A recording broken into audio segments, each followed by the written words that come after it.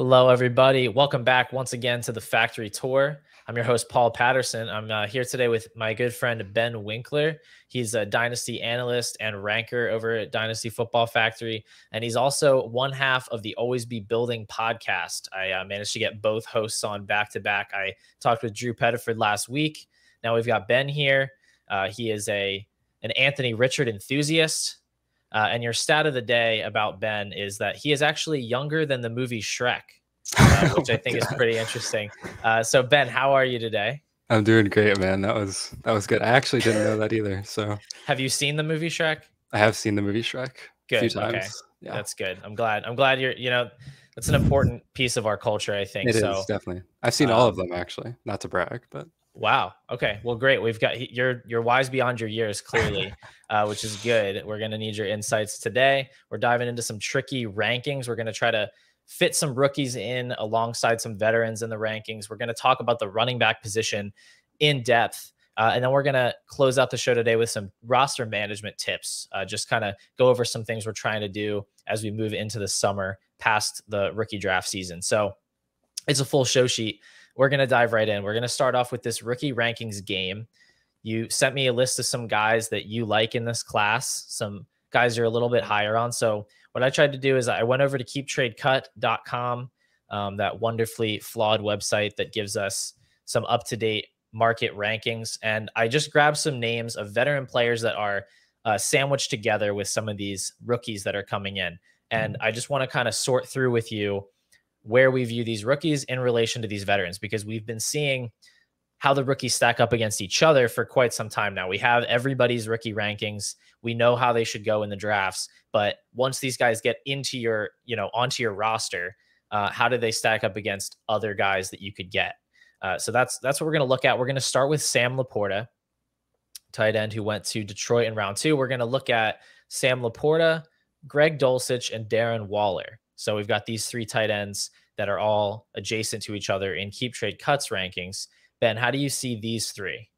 This one's really tough for me. I'm not going to lie. This is probably the one that I got hung up on the most because there's like a reason for me to be scared of all of them. And there's a reason for me, like a really good reason for me to like all of them. For Dulcich, who is probably who I'd put first on this, mm-hmm. he to me is the one I'm just generally the most excited about. He really popped on tape um, he was a good separator and he was great after the catch. And I'm kind of excited to see what Sean Payton does with him. But that's also what makes me really nervous about him is I have no idea if Sean Payton's even going to like him because uh, he was part of the regime before that. And uh, I just really don't know what his role is going to look like in that offense. So tentatively, I'd put Dulcich at one. Um, I'd put LaPorta probably at two of these three. Um, I got really excited at that draft capital. Um, he immediately vaulted himself up to one of my top targets. I have a bunch of shares now. Um, been smashing that in like the mid second round of all my rookie drafts. It's probably one of my favorite values so far. And For then uh, sure. uh, I'd go Waller at three. I'm a Raiders fan, and uh, Waller was really, really aggravating this season. I've been a Waller mm-hmm. owner um, in a lot of my leagues, and it was just uh, really frustrating. And it's cool that he got traded for, and it, that shows some level of investment from the Giants.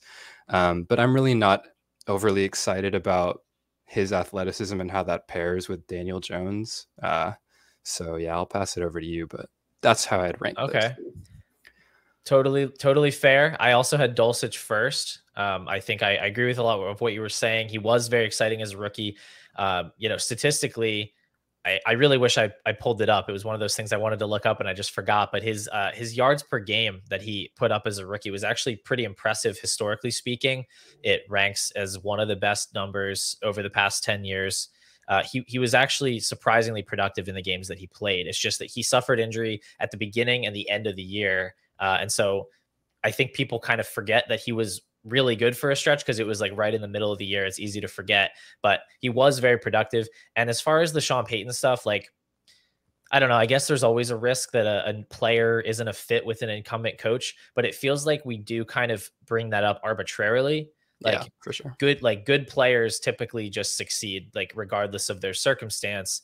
Um, you know, or I should say, at least regardless of, of coaches. And that, for the most part, we don't see coaches come in and discount good players just because they're not their players. And what they've done at tight end, you know, bringing in Adam Trautman, um, other guys that I think they brought in Chris Manhertz, like these are blocking tight ends. So I feel pretty confident that he's going to still have that full time pass catching role. Uh, and he's a guy that I've been trying to buy because I think you can actually get him for some of these other tight ends like Sam LaPorta. I think you could trade that pick directly for Dulcich in a lot of cases and and get that done. And I feel more confident in him. I think he's more likely to produce sooner just because we all we all know rookie tight ends take some time to get acclimated. So I like that. I did have Waller second out of these three, but for me it's really close and I feel like it it's kind of a cop out, but it's like where's your team at, right? If you're if you're competing, I think Waller does present enough upside at the position that I'm willing to take him on at his age. Um, I don't like to be stuck in the middle at tight end where you get kind of that mid tier production without the uh, ability to accrue value and without that kind of week winning ceiling. But I think Waller still does have that because, you know, we know that he is a good athlete. We know that he is able to command targets and he is in an offense that's kind of got a target vacuum going on where there are a lot of wide receivers in New York, but none of them necessarily are very imposing as target earners. So I feel like we could see him as the dominant target in the offense if he still has, you know, that juice that he's had in years past, he could have 120, 130 targets and you know, make a difference for your team. So it's it's scary in the sense that his value could drop off very quickly. It, it's just also tough to invest so heavily in a guy like a LaPorta who we know isn't going to produce as a rookie. Um, but yeah, that's that's where I'm at with these three guys. It's really tight. I I, I guess we'll move on to the next three because I probably shouldn't spend the whole show talking about tight ends. Um, so those are our thoughts on those three guys. I would hope Waller gets used kind of like an X receiver too, because it feels like he's the closest thing they have to like an outside ball winner. So I feel like there could be some really good red zone work for him. Mm-hmm. Um, but yeah, like you said, it's there's just so much risk that his value just falls off. So yeah, I guess I, it's like he's probably better at any alignment than any wide receiver they have on the team. Like, yeah. if you put him at X, you put him in the slot, you, wherever you put him, he's going to be the best receiver on the team. I'm not really afraid of Isaiah Hodgins. Wan'Dale Robinson's coming off the ACL. You know, yep. Jalin Hyatt's a field stretcher. Like, there's there's room here to thrive, but you probably need to see some step forward from Daniel Jones for it to be super exciting. Um, so our next three, we've got some wide receivers here. We're going to be comparing with Josh Downs, uh, rookie for the Colts, rookie wide receiver for the Colts, went in the third round. And let's compare him against a couple of year three wide receivers that have been uh, a little bit underwhelming thus far in their careers Rashod Bateman and Elijah Moore. Uh, so, Ben, how would you slot those three guys into your dynasty rankings? Rashod Bateman of those three is my number one. Um, and this one for me is actually a pretty comfortable slot for him. I'm pretty into Rashod Bateman and I'm super into the Ravens offense this summer. Um, I've been hyping it up all off season, acquiring Lamar shares, acquiring Zay Flowers shares, acquiring Bateman shares. Um, and I think that the way that they've constructed their receiver room is just really friendly to all of them. And it's really friendly to Todd Monken's system.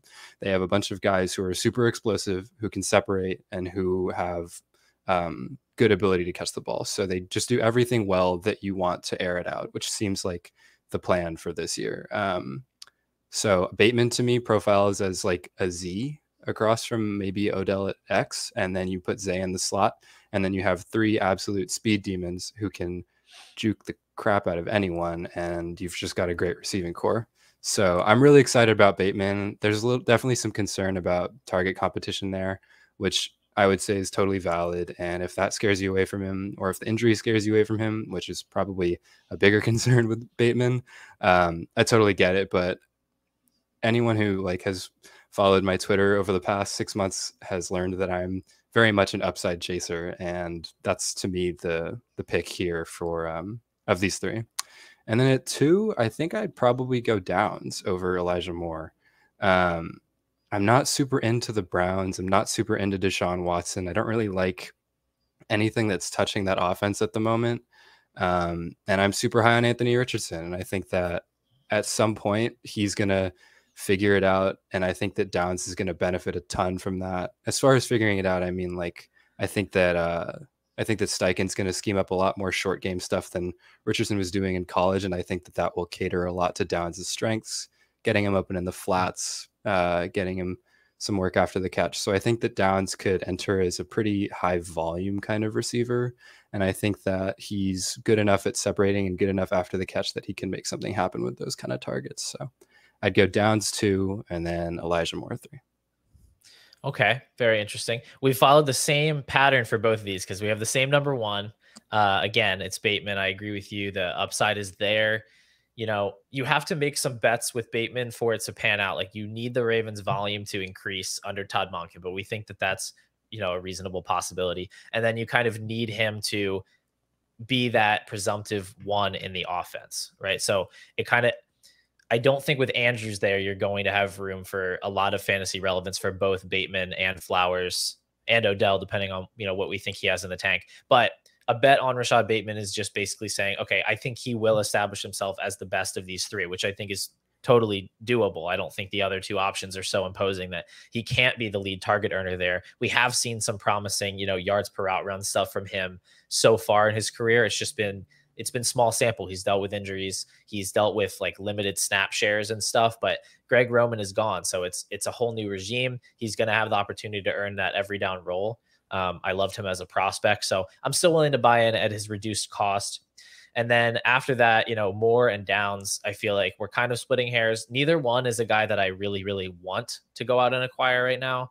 But I think you make a good point about Downs in the sense that, you know, he I think the fact that he's a rookie gives him a little bit more grace. Whereas if Elijah Moore struggles, the bottom's going to fall out. Like this is kind of his last chance to prove himself. Um, but I think generally speaking, I'm just higher on the Browns offense and lower on Anthony Richardson as a passer than you are. So we're just sort of flipped there where I I kind of foresee a world where the Browns pass more, that Deshaun Watson shows you know who he was pre-suspension, um, whereas Richardson has a low pass rate, maybe a low completion percentage, and uh, you know it, that's a little bit more of a run-heavy offense. And I also have concerns about Downs being off the field in two wide receiver sets, playing only in the slot potentially. So I think that's where we differ is just our offensive outlook. But I think both these guys could play similar roles in their respective offenses. It's just which one is going to be more fruitful. And I think maybe I lean towards the Browns. Gotcha, for sure. That's that's definitely a, like a valid and like there's there's a lot of reasons to uh, not be scared of the Browns because Watson was an elite quarterback the last yeah. time we saw him with a full off season and a full season under his belt. So yeah, I mean, obviously the vibes are weird. Like, yeah, the it's, vibes. It's a tough situation. Weird. The contract is gross. It's just yeah. Ugh, it's like, I mean, first of all, I mean, just Cleveland in general is kind of like there's always bad vibes around Cleveland mm-hmm. quarterbacks, mm-hmm. and then the fact that this Cleveland quarterback has his own whole set of you know bad vibes. It's kind of hard to separate that out from what we expect to happen on the field. Um, but I do, I do lean more towards him recovering his ability, just because in terms of his physical condition, you know, he's 27 years old. He didn't suffer some kind of devastating injury. He just took time away from the game. It seems like more likely that he would remember how to play football again and, and be good again. But it's hard to quantify the mental aspect of, you know, everything that he's dealt with. So who knows? Um, we'll, we'll see how that pans out. We're going to move over to the running back position here. And we're going to take a look at Kendre Miller in the context of some veteran running backs going in his vicinity. Uh, so we have Kendre Miller, third round rookie to the Saints, and he's going in the same range as Cam Akers and Joe Mixon. So how do you feel about those three guys? This one's tricky, and I can I have a very strong feeling that me and you are going to disagree on these three. Um, I think that this one definitely, not to state the obvious, but it definitely depends on your team build for sure. If you're a youthful team build, Kendre is easily the pick of these three. Um, but if you're a contender, and this is where I think me and you might disagree, is I'd probably go Cam Akers over Mixon and then Kendre third of these three as far as like if I was a contender. Uh, I'm my first article for DFF was a Cam Akers article. I'll admit it, I'm such a Cam Akers homer. Like I love the guy. I loved him coming out and he was like my first dynasty darling. Um, and that injury really broke my heart. So that's what I wrote the piece on. Um, anyways, I think Akers is primed for a big 2023 season. I think that um, him, Swifts, and Taylor could all have really, and Dobbins especially, could have really big uh, years, kind of like how we saw Jacobs in his contract year do for the Raiders this past year. I think that that's a really underrated aspect of playing Dynasty is knowing when teams are planning to run their running backs into the ground and knowing when they're trying to save them and elongate their careers a little bit. So I could see Akers getting that sort of let's run him into the ground treatment. He was in the doghouse last year. There's mm-hmm. sort of a rift between him and McVay. So I could sort of like see a world where his success in the back half of 2022 kind of rolls over into 2023 and he becomes a really, really high level producer. So I, I like Cam Akers a lot, especially mm-hmm. for a contender. Um, sure. Yeah, I don't. I don't think we disagree too much at all. Um, yeah. Let's. I, I, have them in the same order. I have Akers, Mixon, Miller. Let's start Sweet. with Kendre for a second, though. So mm-hmm. I know you are a fan of Kendre Miller. I'm not a big fan of him as a player. I didn't like his profile too much. Just wasn't a. Mainly, it's the receiving aspect that I, I question his ceiling as a receiver in the league, yeah. uh, based on the way he was used in college. But he's a good rusher. Um, so I guess walk me through like your take on Miller and why you would be lower on him in a contending. I guess it seems like it would be obvious, but you know, we expect running backs to kind of produce right away, and the ones that don't do tend to lose value, right? So yeah. if you're not, if you don't have a ton of faith in Kendre at year one, are, are you just a very big believer that he's going to be able to do enough to capture this role where they're not going to bring in, you know, another dude next year and they're going to just kind of let him go from there? My thing with Kendre is he's he's a super young prospect. He's like still 20 right now as we're as we're recording this. Um, and I just my the way I see his rookie year going is I see him starting super slow, probably not getting any touches. And then I think it's one of those things where by the end of the year, sort of similarly to Cam Akers' rookie year, honestly, by the mm-hmm. end of the year, he's taken the job over from the incumbent Alvin Kamara and then uh, the other new arrival in Jamaal Williams. I think that him and Jamaal Williams kind of profile similarly as football players. Yeah. Um, so I think that that's not a bad and that's not a bad guy for him to be behind and sharing a running back room with. Um, but I do think that having both of those guys there is seriously going to limit his his uh his ceiling as a rookie. I think yeah. that as they get older and start to age out and he gets older and starts to develop more into a complete all around player, I think that that's when his when his production's mm-hmm. really gonna start to pop. So I think my concern with him is that it, I agree with you that he's gonna have a hard time establishing himself this season unless we get some kind of lengthy Alvin Kamara suspension. Um, but if we don't, you know, he's going to be in some form of committee with these guys. And I guess I see it playing out kind of the way we saw things play out with Rachaad White, where we we might even see some flashes, but by the time the job becomes his, we're already going to be in that mindset of like, well, are they going to replace him? Are they going to draft another running back? And his dynasty value is just going to stay depressed sure. uh, until we know that that situation is resolved. It, it's like I don't know if I foresee him doing enough to cement himself as the clear starter where he can accrue a ton of dynasty value. Um, and so that's why he's not a guy I'm like afraid to miss out on, I guess. But he does have a chance to get a role here. It's actually funny because it's kind of the way the depth chart is similar to when Kamara was drafted. And the he also came in in the third round, and they had mm-hmm. just recently brought in Adrian Peterson. Mark Ingram was there, so he was like the third guy on the depth chart. Um, unfortunately, I don't think Miller's the same kind of dynamic talent that's going to necessarily transcend in that spot. I would agree but, with you there. yeah, but like you said, he is super young. If he does enough as a rusher, you know, efficiency wise, he certainly could enter next season as their starter, and that could end up being a very lucrative spot for him. But with Akers jumping back to the top of both of our lists, uh, I do disagree with you that I, I don't think he has super high end upside just because to this point in his career they haven't used him as a pass catcher and I and I still don't think they're going to use him in that way. But he is definitely primed to get a ton of carries, right? The only competition they brought in is Zach Evans in the sixth round, who I do like as a prospect, but a sixth round running back is not a heavy investment. They had nothing behind Cam Akers. They certainly don't want to be giving carries to Kyren Williams. I, I can't name another running back on the depth chart. So, you know, regardless of the Evans addition, they needed someone in there in a depth role. But Akers, unlike last season, is the obvious guy at the top of the depth chart. He should be getting the bulk of the carries. And you know, hopefully this offense can bounce back a little bit with Matt Stafford back and healthy.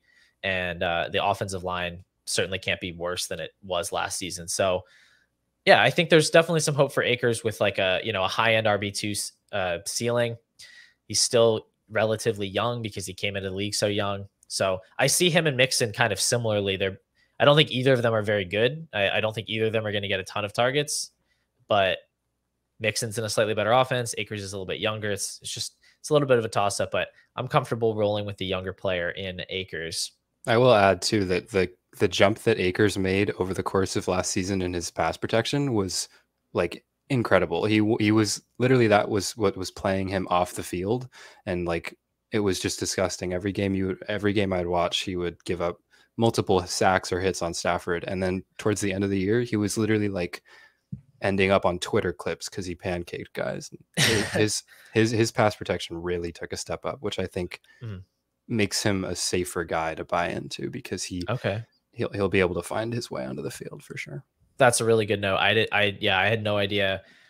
Running back pass protection is certainly one of the things that I know nothing about. So that's a good call. Maybe he can earn himself some more third down snaps, maybe get a few more targets in that way. Um, we we shall see. Either way, his price is pretty palatable. He's going as a RB twenty four, I believe, in uh, Dynasty startup. So not a not a prohibitive investment by any means. Uh, let's talk about three more running backs a little bit further down the board, the Dynasty board. We've got Alexander Mattison, Roschon Johnson, and Brian. Uh, oh my gosh, I almost said Bijan Robinson. I don't think he belongs in this discussion. Brian Robinson, the other B Robinson that's going to be put into all of these uh, trade offers this year, trying to pull a fast one on people. Uh, how do you see these three? Because there's a lot of there's a lot of heat on Roschon Johnson right now. Like people are really into his landing spot. People think he could be the starter right away. Do you think that's a possibility? And does that put him at the top of this list, or are you looking a different direction? It does put him at the top of the list for me. Um, I think that as far as just comparing him and and Brian Robinson goes, you're getting a reset on the age. You're getting a improved landing spot in a similar role where it's like a pretty crowded committee, and you're not really sure if the high volume or like elite workhorse role is going to be there, but you know that they're going to be running the ball a lot, um, so that there will be touches to be had.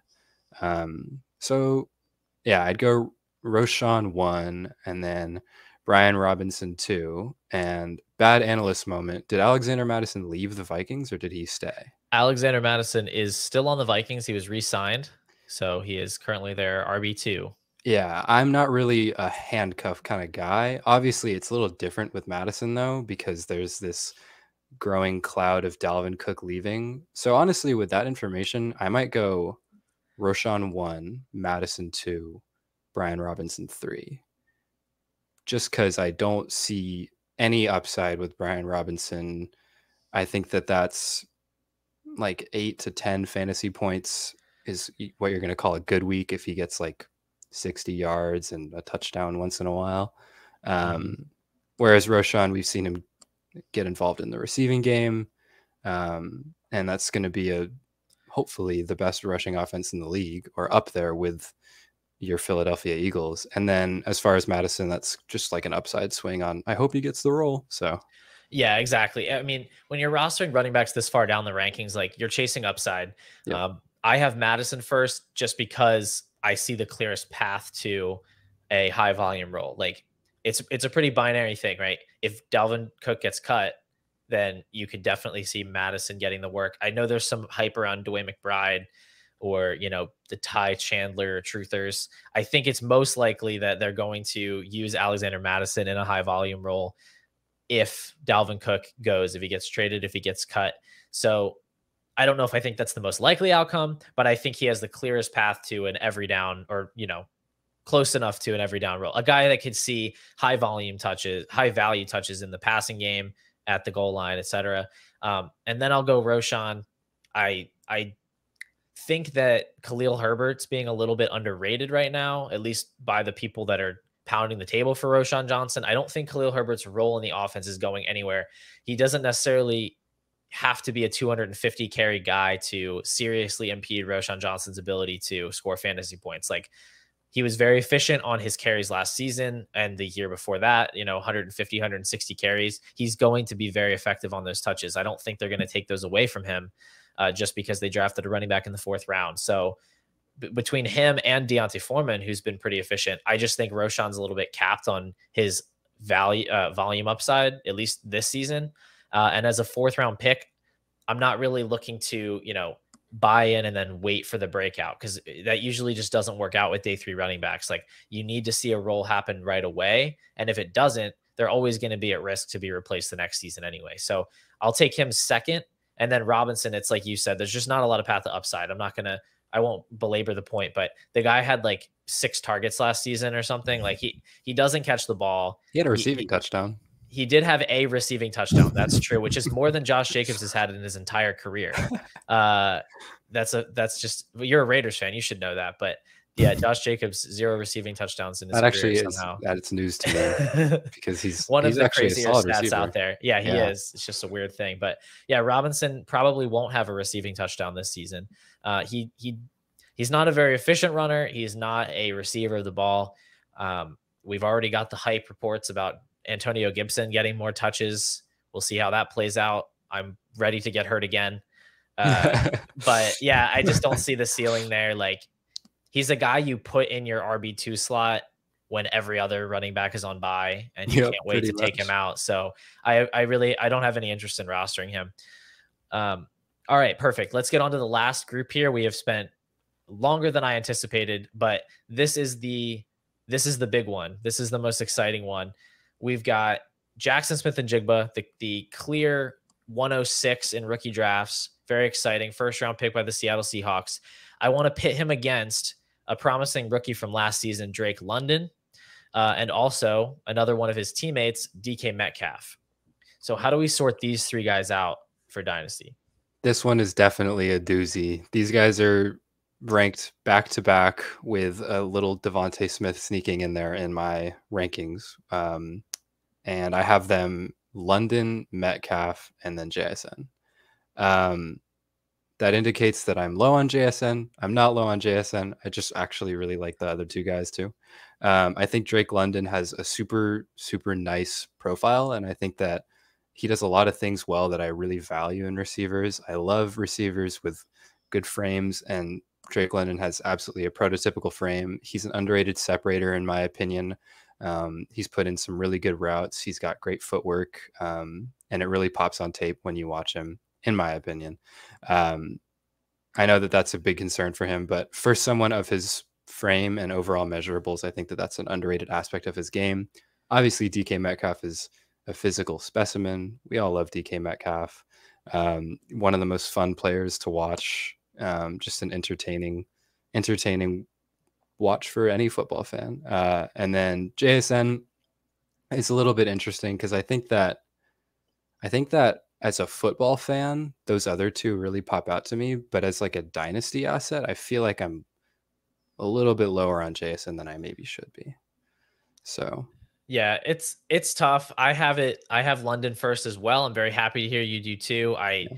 I honestly, I saw a tweet about why you should be trading Drake London for JSN, uh, and I that was what inspired me to put this in here because I just strongly disagree with that. I think with JSN, you're hoping that he can replicate what London already did last season, which was a top five target share in the NFL. You know, really strong per route numbers. Uh, it's all subdued by this really disgusting offense that he was a part of that had the lowest pass attempts per game in the NFL and terrible quarterback play from Marcus Mariota, not much better from Desmond Ridder. And, and that really suppressed his counting stats. But when you actually look below the surface at what these wide receivers are doing, he was really, really impressive. And so I'm buying the heck out of Drake London. I know that he still has Desmond Ridder as his quarterback. I know that they still profile as a as a run heavy offense, but honestly, pass rate is very volatile. It fluctuates a lot year to year. We're not always as good at identifying situations as we think. So I'd rather just buy into a guy I know is really good and hope that he doesn't get the DJ Moore treatment and just kind of flounder in mediocrity for five years. That can obviously happen, but that could happen for anybody. Uh, honestly, like we don't know for sure that JSN's stepping into a, a significantly better situation. For his part, he's in a crowded offense. I, I don't think that necessarily matters for his long term value. I do think it subdues his projection for this season a little bit, where he could have stepped into a more open depth chart and commanded a much higher target share right away because I think he is very talented. Uh, now playing with Metcalf and Lockett, he's probably going to be capped but with what he can do in year one, I still think he'll be efficient. I still think he'll show us what we need to see to push him up the board a little bit. And honestly, the reason I want to take him over Metcalf is just that I think Metcalf has finally reached an age where his value is going to be very closely tied to what he did in the previous season. Um, you know, we see wide receivers once they get to that age 26, age 27 season, they need to produce above their expectations to hold their ADPs. Like otherwise, they just sort of slip a little bit further down the board every year. We've seen this with like Stefon Diggs, Davante Adams, etc. Like even if they meet their projection, the problem is that that's another year burned off of their you know produce it productive seasons. And so the next year we get to the startup, and now it says 28 next to the name instead of 27. And the fact that they were good last year doesn't do quite enough to buoy their ADP and keep them in that like round three conversation. So I, I kind of feel like with Metcalf, he's going to start slipping down the board, especially with JSN being there in that same offense, potentially taking you know even more targets away. Uh, whereas with JSN, I just don't really see him. I don't see any way that he's losing dynasty value, and and so with him already being right there with Metcalf in startups, I just kind of see these guys as two ships in the night that are going to be passing one another in in about twelve months. Some great imagery, man. but it's it's super true. And the other thing I wanted to mention was that uh, despite the limited sample size, the splits with and without Ridder for Drake London were super promising. So hopefully, hopefully he that is maintained. Um, yeah, I think they had more attempts per game with with Ridder. Mm-hmm. He had maybe, and also Pitts was out of the lineup, so that does skew things just a tiny bit. But yeah, I I mean, I just don't think it can possibly be as bad as it was last season. I, I guess that's where I'm at, and that's not super analytical, but that's just how it feels. I, I, I don't know. I don't think Ridder's a star by any means, but I think he can be an effective distributor with the weapons that he has. So uh, better than right. Mariota. That's it. For sure. Yeah, just about everybody is. Uh, we're going to jump into the next section of the show here, or maybe pick up the pace a little bit. We're going to talk about the running back position. We've already covered a few guys, but we're going to go in a little more depth because this is the position that is really the most in flux at this point with the NFL draft and free agency. The moves that are made at this time really affect the running back uh, landscape. Some guys just get absolutely tanked in their value. Some guys can secure their starting jobs. So it's very volatile, as we've seen with guys like Kenneth Walker, even having guys that we thought were established young stars in the NFL having significant competition added to their backfields. It's just, it can be tricky to navigate. So, what we're going to do is talk about a few running backs we like, some we don't like, and uh, I'm going to be bringing up their ADPs both in startups as well as on underdog uh, for seasonal drafts because the thing about running backs is so much of their value is tied up in this season's projection that it's really important to me when I'm evaluating running backs to see like what are they expected to do this season. I think that's a very big indicator of whether they are maybe over or undervalued in dynasty because we've seen like over the past several seasons, guys like Kenneth Walker, Najee Harris, Javonte Williams, DeAndre Swift, Miles Sanders, these are guys that were at one point in time considered foundational assets for your dynasty team guys that you need to build around and you know at age 21 22 and they're going to give you multiple rb1 seasons all during their rookie contracts and for one reason or another all these guys have let you down so i kind of feel like we're past that that idea of picking up a running back based on what they're going to be three, four years from now. And it's more so, what are they going to do for me this season? Um, and, and we'll figure it out from there. Uh, so I don't know. Do you have a similar approach, Ben? How do you approach the running back position just in a broad sense? I mentioned this on the last episode of me and Drew's show, but the way that I've started to look at running backs more and more as I've gotten sort of deeper into my like process um, has been sort of looking at how teams use their running backs just as much as how good the running back themselves is. Because um, I think that we've seen plenty of running backs with perceived all the talent in the world, guys like DeAndre Swift. Um, but if a team refuses to use them or prefers to use a committee or a duo or something like that, which is where the way that I think most of the league is trending, um, that's going to be more important, in my opinion, to to their dynasty value than the actual player themselves. So, like Josh Jacobs, I think not to bring him up again, but he's a great example of that, where he might not be the most talented runner in the league, although I think he's definitely up there. But the way that he got used last year was just an elite three down role, and it turned into an elite season. So that's sort of what I really mm-hmm. am, have been looking for more. I got you. Yeah, for sure. The situation does uh, come into account. It's it can be hard for me to figure out where the player's ability and you know begins and ends and where the actual system takes over. You know, like if you drop a Zamir White in, you know, is he going to take on the same role as Josh Jacobs? Probably not. So it's kind of you have to kind of marry the two together, right? The the ability and the coaching tendencies together. Uh, but when you can do that, then you can really hone in on those guys that you want to be targeting. Uh, let's start on the negative side here, and let's touch on some running backs we want to be getting off of our rosters. Uh, and, I, will start us off actually with a guy that I think we both agree on, which is Javonte Williams. So Javonte is one of the best examples, I think, of this discrepancy between dynasty value and current season uh, expectations because he is currently going as the RB 15 in startups uh, per the bulletproof FF uh, ADP. But on underdog, he's being drafted as the RB 29. Uh, and that's obviously because he has the injury that he's coming off of the ACL. He, people are expecting some subdued production early in the season, at least, and that's pushing down his price. Um, but honestly, this feels like a trap. You know, we don't want to be buying into young running backs on the basis that they're young because as we've seen these situations change so dramatically so if i'm not getting a player that I feel confident putting into my lineup this season, I'm probably not buying into that player, especially at the cost of, you know, a fifth round startup pick. So, Ben, tell us a little bit about your thoughts on Javonte. I really liked Javonte coming out of college. He was actually my RB1 in that class over both ETN and Harris um, pre-draft. Um, and I was I was super in on him. I think that I think that broken tackle or like the ability to break tackles, I think is a super important aspect of of the running back position and what makes what separates good runners from bad runners. So I really like Javonte as a player, but I feel like it's just bad process to not sell him at the value that he's at right now because you're just insulating yourself with a mid to late 24 first if you can get that and that looks to have a um, a pretty good running back class and then you can replace Javonte with another young running back you get a reset on age you get to wipe the injury slate clear it just seems like the logical thing to do is uh, get what you can for him and consider yourself lucky.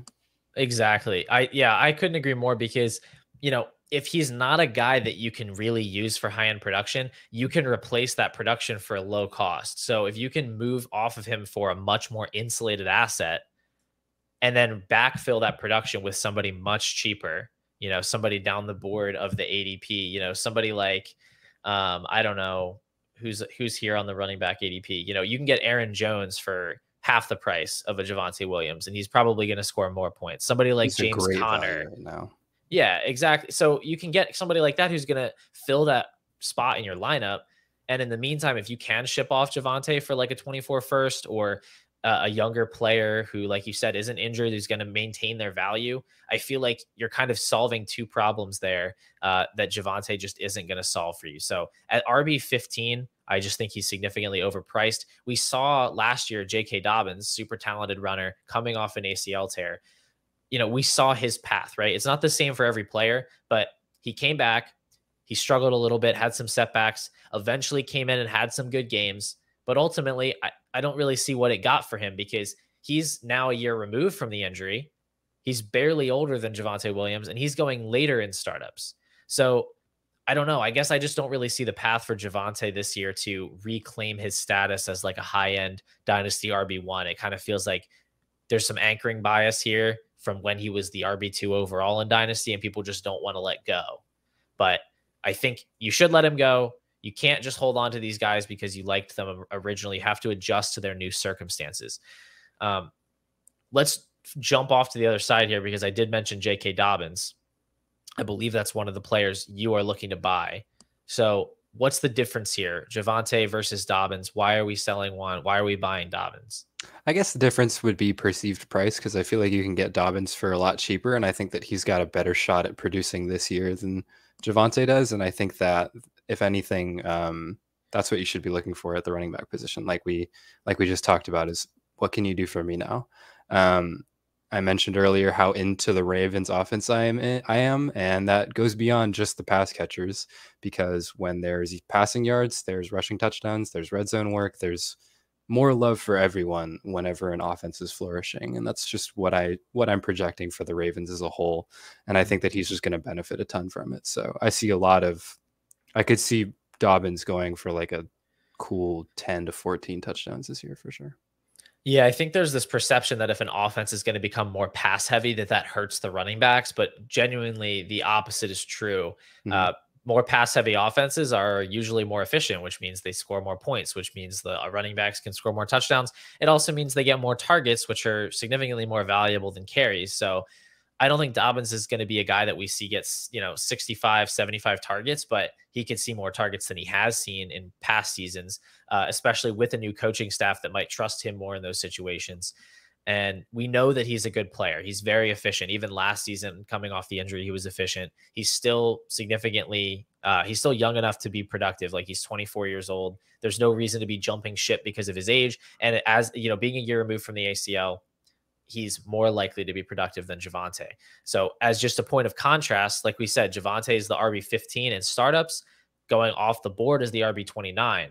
With Dobbins, he's cheaper. He's going off the board at RB 19 in startups, but he's being drafted on underdog as the RB 18. So, people are clearly bullish on him producing this season and somehow less bullish on him in Dynasty. And that just doesn't add up.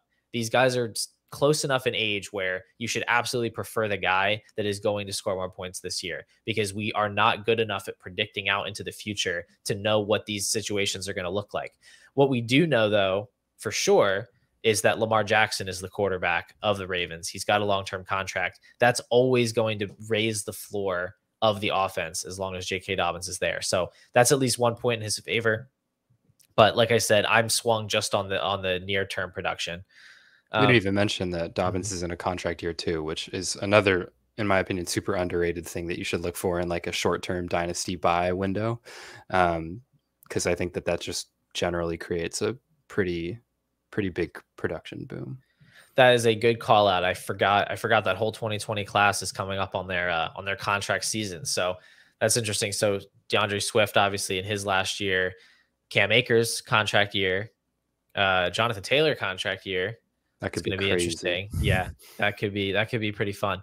All right, let's uh let's cover at least uh, one more buy and one more sell. Let's start on the sell side. Do you have a running back you're trying to get off your teams? Uh, I I should probably talk about Austin Ekeler. I tweet about him a lot and I think about him a lot, and I just really really don't like the football player there. I think that the importance of having a dominant force on the ground really got highlighted in their wildcard game against Jacksonville. And it was just a glaring hole for them. They couldn't pick up any rushing yards in that second half. They couldn't take any time off the clock, and they just kept kicking it back to the Jaguars. Um, and I think that not to just totally blame Austin Ekeler for everything, because there's some blame to go around for everyone. Offensive line could have been better. Brandon Staley could be better. Justin Herbert could be better. But at the end of the day, having a really small and not physically imposing running back as your very high paid RB1 is just not good coaching. It's not good management. It's not good. It's not good football. Um, so I just find it hard to see. And I know that they didn't draft anyone, which is something I was really expecting them to do. Um, to me, that's just doubling down on it. It gives you more of a sell window for Ekeler because they're they can't they can't ride this out forever. At some point, it's going to happen where they're going to realize that this just isn't working. And I think that Ekeler's role is going to be diminished at some point in the near future. Yeah, it's an interesting case for sure. I did think they would add somebody in the in the draft, and the fact that they didn't is kind of perplexing, especially because Austin Ekeler has been pretty vocally looking for a new contract, and the Chargers haven't offered it to him, and so it honestly seems kind of up in the air whether he's even going to play for the Chargers this season. I don't really know I'm not a contract expert, so I don't know what the likelihood is of him holding out. Right now, he's certainly acting as if he doesn't want to play. So that's something to monitor. Um, but yeah, I mean, he's going off the board in startups as the RB9. So that's certainly not a low price for a running back who's 27. Um, obviously, has some deficiencies in his game coming up on a contract dispute. The problem is that just the upside is so high, right? Because he, He's still going off as the RB3 in underdog, uh, which is a half PPR format, by the way. So, you know, he really, really thrives in PPR, but even on a half PPR site like underdog, he is going off as the RB3. Um, it's very difficult to decide when you're that high up in your in your draft or that you know somebody that's that highly valued are you going to really chase that ceiling because he does have that RB1 overall ceiling that we covet that not a lot of players have. But as you pointed out, he also has some pretty significant downside risk, and we don't know what he would look like on another team because I think another Chargers, team would be really bad for him. I'm not gonna lie. Yeah, I don't think there are a lot of situations he could go to where he wouldn't see a significant drop off in his usage. Where you know Justin Herbert has had a very low ADOT over the past couple of seasons. He has targeted Ekeler at an at a massive rate. The passing volume in general has been really really high in Los Angeles. So this is a volatile situation. And I tend to agree that if I have Ekeler on my team, I'm probably looking to move off of him into someone else. Like I will pay a, a premium price to move from Ekeler into a Christian McCaffrey or into a Saquon Barkley. If you want to lock in that veteran production with a little more stability, I think it's worth giving a little ex, something extra or trading down from Ekeler into, I don't know, like a Nick Chubb or something where you still have a relatively high ceiling, um, but maybe the the talent floor is a little bit higher, less likely to go south quickly. Another thing I forgot to mention about Ekeler is that Joe Lombardi's gone now, and he was the the mind behind all of the Alvin Kamara PPR years, and uh, he was a big part, I think, in Austin Ekeler's passing game usage. And him being gone is definitely gonna it's gonna be a hit for Ekeler. Yeah, that's a, that's a good point too. You keep you keep coming at me with some uh, some deep cuts here with the the contract years, the coaching changes. I love it. I, I get really caught up in like the game theory of it all, and and I often overlook some pretty obvious, uh, you know, contextual elements. So it's good. Call those out for me. Gotcha. Um, let's jump over to the buying side. Let's see. We talked about Javonte as a sell, J.K. Dobbins as a buy, Austin Ekeler as a sell why don't you give us another buy here? So who are we who are we looking to go ahead and add to our teams? I already chirped a bit on Cam Akers before, but he's the other guy I'm really targeting at the running back position. And there's not there's not a ton more beyond Akers and Dobbins that I think are super great values at the moment. But all the things that I mentioned really um, earlier with contract year, I think he's going to get an insane amount of usage. Um, I think that the third down work could see an increase because of the way that we saw him pass block towards the end of last season. Um, I think that he's going to be getting a lot of high value touches in the red zone. Um, I think that he's just a good football player in general. I think he's a really elusive guy with some good power, and I think that his long speed is going to continue to get better as he gets further and further removed um, from the Achilles. I think that his burst will just only get more and more back to form, um, and I think that the Rams offense as a whole is going to take a pretty big step in 2023 from 2022. So I like Akers a lot. I'm kind of medium on Akers and Dynasty. Like, like I said, I, I, think I maybe I have his ceiling a little lower than you do, and so it just makes him less exciting. He's he kind of just feels like an RB two, one of those guys where halfway through the season I might be, I might have three or four guys on my bench that, you know, have found themselves in starting roles that project similarly on a week to week basis. But if he does take on that third down role that you're talking about, if and if their offense is improved, then maybe I'm a little low on his on his actual potential. I guess he could see like a Josh Jacobs esque workload at certain points of the season, which would definitely give him another another level of upside. So I'm kind of coming around on Akers a little bit. I I actually actually I had him as my dynasty RB five at one point. I had him up right, there too, right before his his yep. injury. So I have been hurt by Akers. It's not his fault, of course. Um, and I, I, was super high on him as a prospect, and I thought he was going to come in and be this do it all guy. He looked so exciting down the stretch in his rookie season, but ultimately, it just it didn't it didn't pan out that way. But now at RB twenty four, maybe now is the time to get back in it kind of comes in cycles with these injuries. Like Javonte is early in that injury cycle. Maybe he's more of a of a sell, and then you can get back in later when his cost is depressed. So you you just have to find the right time to buy in, and this might be the right time to buy into Akers. The I'm going to mention a cluster of players here that I think you can also be buying because they have very palatable prices. It's because they are quote unquote old. Uh, and that's like really a wide range of running backs that are all different values based mostly on the offenses they're in and their perceived talent levels. But honestly, all of the age 26 and older running backs that are still starters, most of them have pretty nice looking prices right now. I'll start at the top with Nick Chubb, who is the running back 14 in startups. So that's just one slot ahead of Javonte Williams. He's going off the board and on, on underdog as the RB6. I would swap Javonte for Nick Chubb in a heartbeat. Okay. If you can get Javonte Williams off your team and add a little something extra to get Nick Chubb, I would totally do that because he's really good at football. Uh, he's going to produce this season, potentially in a very good offense. Um, and honestly, we don't know when he's going to decline. The That's the about, one Cleveland Brown I'd I'd buy for sure. Yeah, there you go. So we agree about a Cleveland Brown. You're gonna have to go out and buy him. Um, the running back aging curves are kind of a fallacy. Uh, running backs don't really decline in a linear fashion. Uh, the way that running back aging curves have been done, Adam Harstad is the one who kind of pointed this out, but the aging curves take into account where all these different running backs stopped being productive and then they average it out. And so you have some running backs that stop being productive at 26, some at 27, some at 28, some at 29. And then what it looks like is that you have this gradual decline in production over a number of years. But on an individual basis, what you're seeing is different running backs are good, good, good, and then bad. Um, and it happens kind of all at once. So with Nick Chubb, we've seen no evidence that he is falling off. He, he hasn't lost his efficiency in the way we've seen from like Ezekiel Elliott, Dalvin Cook, Joe Mixon. He still has it.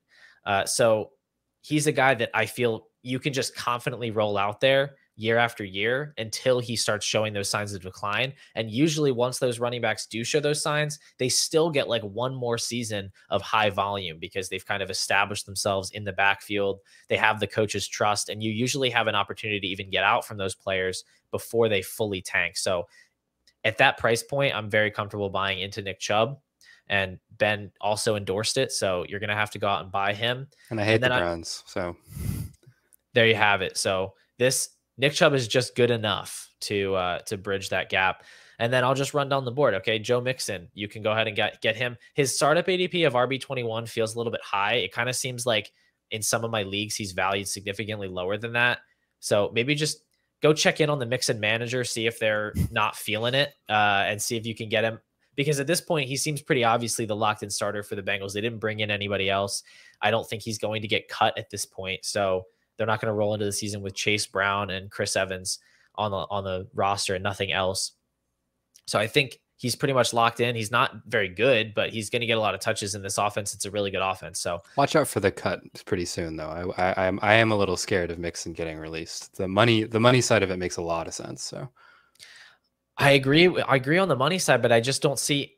It just feels like a high profile team like that would have done more to address the need. Like what are, what are their options if they cut Mixon? Like what can they actually do at this point? Because signing an Ezekiel Elliott or a yeah. Leonard Fournette is like that's not going to help them at all. You know, trading for Dalvin Cook's not going to help them. Mm-hmm. I don't know. I feel like they need a running back, and I don't think they're going to want to go into the season with with the guys they have as the starters. But that's we true. shall see. I, I maybe we just see a you know a restructured contract or something. Uh, I'm not sure, but at his price, I'm comfortable. Maybe you can flip somebody like Kendre Miller, who we talked about is close in value, um, or even like a Jonathan Mingo or something. Get off of one of these unproven younger guys that don't really have good profiles and it gets somebody who's going to score some points. Even further down the board, probably the best buy out of all of them is James Conner because he has absolutely no competition to speak of. He's going to get a million touches. And yes, he is washed, uh, but so are a bunch of these other running backs that are valued more highly for some reason. All he does is just soak up volume, both in the receiving game and on the ground when he doesn't have any competition around him. So he was like a borderline RB1 last year, too. James Conner is a great value right now. I'd, I'd definitely be in. I think he might have been an RB one in points per game, even. But yeah, yeah, he's he's like the he's the RB thirty five in startups right now. So he's going after Brian Robinson. So if That's you can go ridiculous. trade trade Brian Robinson for James Conner, uh, score some points. Absolutely. Yeah, and and and buy some other veterans too. Which I, I kind of want to veer into that towards the end of the show here veteran players are only going to get more expensive as the offseason progresses because their points the points they're projected to score are going to become more and more important as dynasty managers stop looking at their lineups in terms of like you know how pretty they are how nice a screenshot of their lineup looks and how actually the points are going to start being scored um, so guys like keenan allen i think are, is a great buy right now uh, guys like we've mentioned these running backs. Um, who are some other veteran players we could point out for people? Because I think D Hop is a really good one that that you that you mentioned in on on the sheet, and I think that there's a little bit of cloudiness around him because we don't know where he's going to be next year, and if he stays in Arizona, that would really, sorry, that would really suck. Um, but he's just such a good football player and he's been so good for so long and he was so good when he showed up last year that like you have to imagine that wherever he goes the team's going to be in on him as their potentially number one target earner so. Yeah that's that's true. I do like hopkins. I think as it becomes more and more likely that he's doomed to remain in arizona it's kind of kept his value depressed and that also kind of makes me depressed. But uh, really sucks, man. Yeah, I mean, you know, looking at half a season of like Colt McCoy or I think Clayton it'd be more than half too. or whoever Gosh. throwing them the ball, it it's concerning at his age as well. Mm. Um, but the flip side of that is if he's moved tomorrow, you know, if he gets traded to the Bills tomorrow, you're going to wish he was on your roster. So maybe we just go out and we get good players and we let the situations kind of sort themselves out. He's not incredibly cross cost prohibitive at his current price of wide receiver 38 in startups. So definitely a guy you can go out and get. Uh, Darren Waller, we mentioned earlier, is maybe the last. He's probably the cheapest of the potential high end tight ends you can get.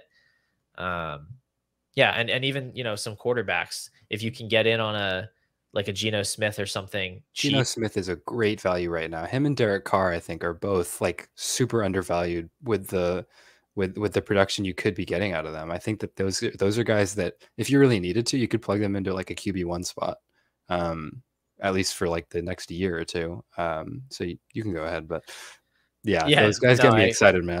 I, am all for buying them. I, I I do not want Derek Carr in my QB one slot. I'm just gonna go ahead and say that right now.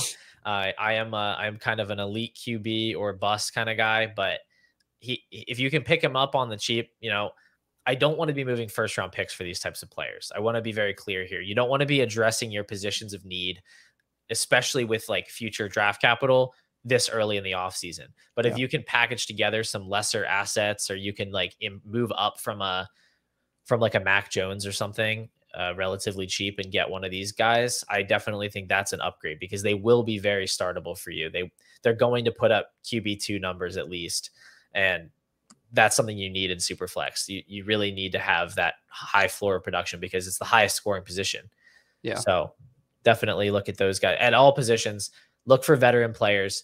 Um, and even if you don't think you're a super strong contender, I want to I want to get into some of these roster management tips, maybe the kind of the abbreviated version here, but don't count yourself out as a contender, especially right now in May. Like you might have a super low value roster. Maybe you have a very very bad team. You took over an orphan or you made some really bad choices and you know that your team is totally shot. Okay, fair enough make your moves to to tank this season, pick up some future capital. But for the most part, if you have some like quote unquote, you know, middle of the pack team, please don't blow it up now in May because first of all, the high value assets that you have, like I, we just said, they're going to be more valuable uh, come the season when they're scoring points. But second of all, I think way too many teams count themselves out of contention when they actually have more of a shot than they think because variance variance is a fickle, fickle beast. Uh, it it shines on us in some moments, and in other moments we get totally screwed. Uh, you know, number one seeds get bounced by number six seeds. It it it happens all the time. So you need to be open to just making the playoffs and then letting the chips fall where they may. Uh, ben, how do you approach?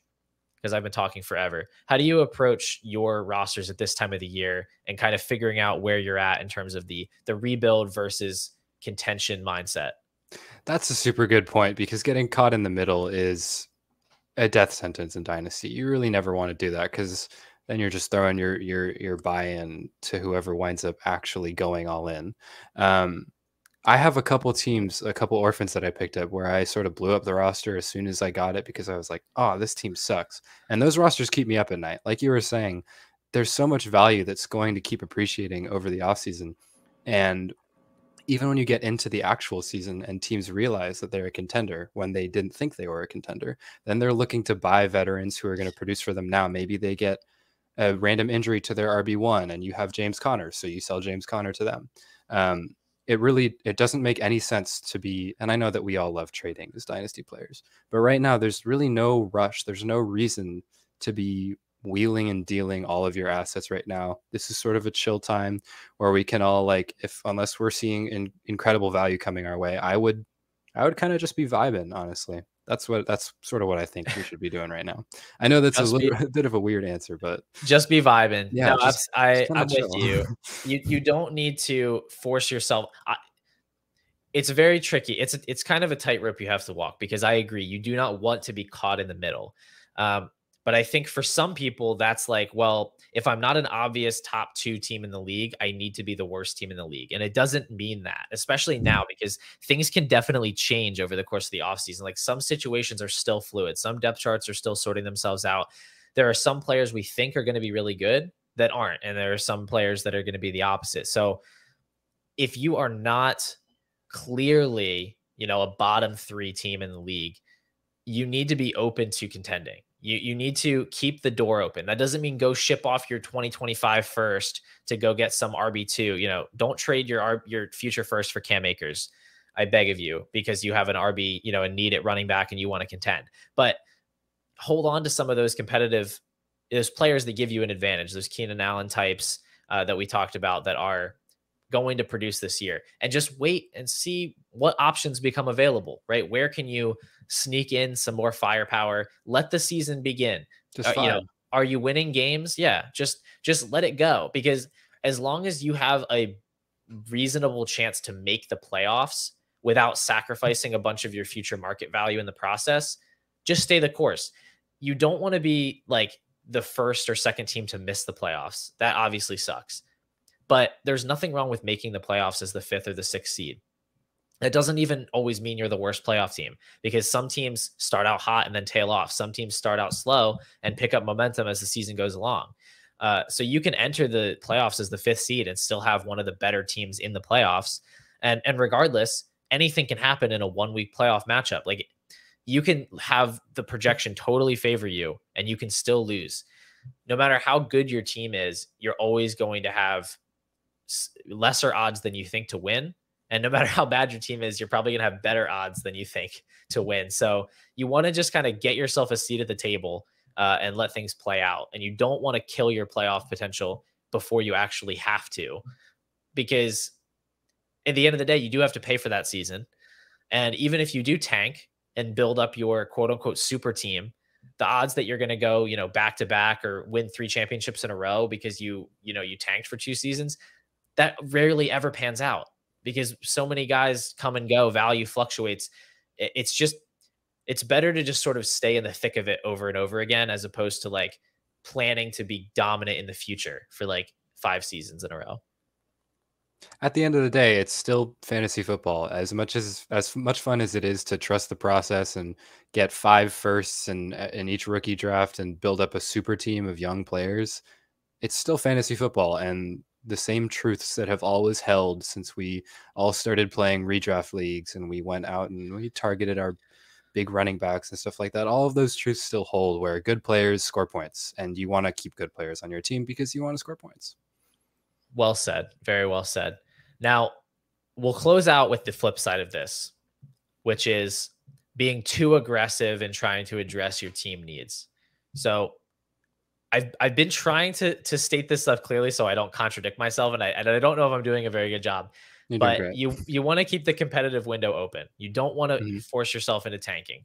Um, however, you don't want to start paying up for positions of need immediately right now in May and trying to get players just because you need a running back or you need a tight end. Um, that is the worst reason to make a trade in May.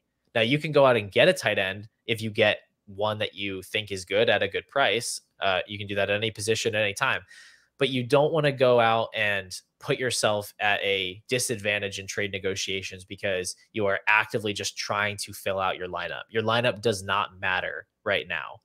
So, how do you walk that line, Ben, when you're trying to make trades? Because we all love to make trades. How do you avoid getting too fixated on the weaknesses of your team?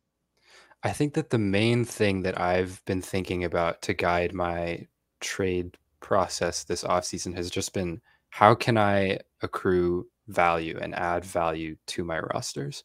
Because I'm not like you said, it's May. I'm not putting any of these guys actually in my lineup. I still have Jameson Williams in all of my starting lineups because I put my highest value players in my starting lineup. Um, so yeah, I'm just I'm looking to if I have a team that seems to be a little depleted, I'm looking to move big studs and downgrade to a slightly lesser player and add a pick on on top of that or something like that. Um, a lot of a lot of stuff like that where I'm just trying to pick up value, find guys who are trying to take an upside swing, and um, just build up a, a strong basis. Because adding value is the the one thing that is really tricky to just do. You actually have to usually take actionable movements to in order to add value to your teams. Um, so that's that's sort of what I'm what I'm looking to do right now. I'm I'm really not doing anything major though at the moment, like we've been saying. Yeah, I think the the perspective of adding value makes a lot more sense at this point in the off season. Like it shifts once you get in season. You still want to consider the value of your team because you have to think about the years that come next because this is dynasty. But right now, we want to think about like you said, making our just making our rosters more valuable, right? It's like we're trying to just kind of fill up the piggy bank with as much money as possible so that when we have to break it open and go out and buy things like positions exactly. that we need, now we have the funds that we need. But we just want to be flexible. So we want to be acquiring assets that are fluid. That's always future draft picks. You can even if you think you're a contender, go out and get somebody's 24 first. You I promise you, you will not regret it. I traded, I traded, I went out and traded Chris Godwin in a league where I'm the defending champion for some dude's 2024 first because his his roster is terrible and I know it's a top five pick. Um, but That's I saw awesome. the I saw the opportunity to make that deal, and while it seems counterintuitive as a contender to trade away a pretty decent player for a future draft pick, the rest of the league also knows that that's a top five pick. And when the season comes, I can just go send that pick away for a much better player if I really need to. Yeah. Um, you know, or I can maneuver in other ways and hold on to that high value asset and still keep myself in contention. You know, you just have to be open to these different possibilities. Um, but like you said, tearing down uh, of players is also a good thing to do. Rather than just trying to address your needs, look at hone in on players you think are good bets that or or or bad bets. If you have a player on your roster that you think is a bad bet, try to move him off your roster. Uh, either picking up value to like move down a tier or paying up a little bit to jump up a tier into a guy you think is more likely to be good for your team. Like moving off of an Austin Ekeler into a Saquon Barkley was something we talked about earlier.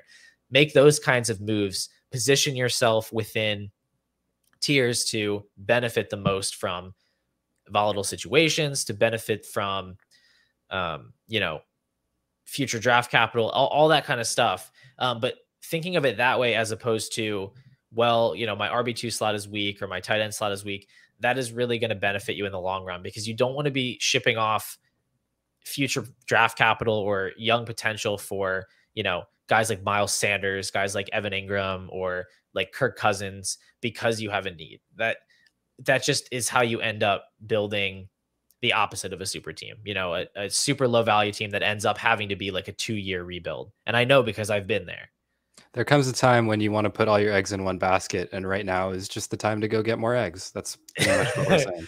Love it. Go get more eggs. Absolutely. Go put more eggs in the basket. Um, don't worry about which basket they're in uh, as it stands. Yep. You can always and, flip uh, it later. You yeah. always flip it later. Absolutely. Okay, perfect. Well, I think we got to most of the main bullet points despite running a little bit long on the the first part of it. That ranking, those rankings were just too fun to talk about. So they it kind of it yeah. kind of dragged things out a little bit. Could do but, those all day. yeah, absolutely. Um, as always in Dynasty, there's so much more we could talk about, but we won't belabor the point. We will uh, we'll close things out. Are there any final thoughts you have, Ben? Because I, I know there were some bullet points that we didn't get to. I'm sure you have some killer killer other notes for it. Is there anything you want to just end this on? Like you could throw out whatever you want. Hmm. Anything I want. I would say I'm going to double down. Go sell Austin Ekeler. Just go squeeze all of that value that you can get out of him right now because the upside is still there and I don't want you to be holding the bag. So you're welcome. There you go. Okay. Anthony sell Richardson, Austin Ekeler. Quarterback one. That too. And Anthony Richardson, QB one. Is that in Dynasty or in the rookie class? In the rookie class still. Not not fully there yet. Okay. I was really I was a little concerned for a second. Okay. I'm with I'm with you there. Anthony Richardson, rookie QB one. We got to parade that every chance Fantastic. Yeah. Um, okay. Well, I'll throw out one more thing uh, because we were going to talk a little bit about uh, dynasty uh, rookie draft waiver ads. So guys that might be there after your drafts. I do want to highlight Tyon Evans because we talked about Cam Akers and how he has no competition. Uh, they did draft Zach Evans in the sixth round. They also added Tyon Evans as a UDFA.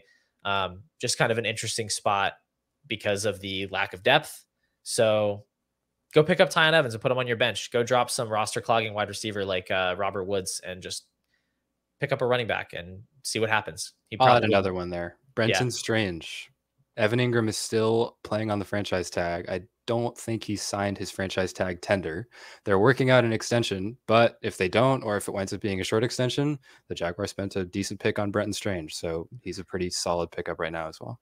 All right, Brenton Strange, second round tight end. Yeah, he is going undrafted pretty frequently in rookie drafts, so that could be a guy you could stash as well. I'm always on, on board with stashing some running backs and tight ends with upside, even if it's very thin levels of upside, as opposed to holding on to players like Parris Campbell, Terrace Marshall, Mecole Hardman. I don't I don't want those bottom of the barrel wide receivers. Give me the running backs, give me the tight ends that have a chance to maybe make an impact at some point.